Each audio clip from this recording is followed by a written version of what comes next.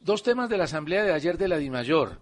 El primero, estuve consultando con Hernando Herrera, nuestro abogado de 6 AM, cuánto se demora un tribunal de arbitramiento que lo solicitó la asamblea para establecer algunos puntos del contrato con Winnie con RCN. ¿Cuánto se demora un tribunal de arbitramiento? Y él me dijo, mire, se demora entre año y medio y dos años y medio. Y hay tres maneras de escoger el tribunal de arbitramiento, las personas que lo integran. Y la DIMAYOR inició acciones legales contra Coljuegos, entidad que regula los juegos de azar en el país. Dice que la DIMAYOR merece algún dinero por las eh, licencias a 15 operadores que tienen apuestas en línea en Colombia. Lo que pasa es que esos operadores tienen apuestas de mil deportes y no pagan nada por ese tipo de cosas. O sea, que usted cree que eso no va a salir adelante.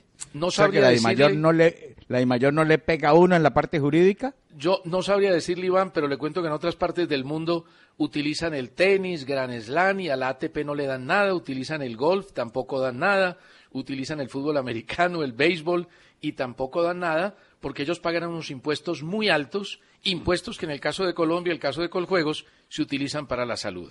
Yo solamente le digo a los directivos de la DIMAYOR, en lugar de estar pensando en tribunales de arbitramiento, en lugar de estar pensando permanentemente en cómo sacamos más plata por aquí, piensen en el juego, en el fútbol. Esto está muy malo y la gente no está yendo.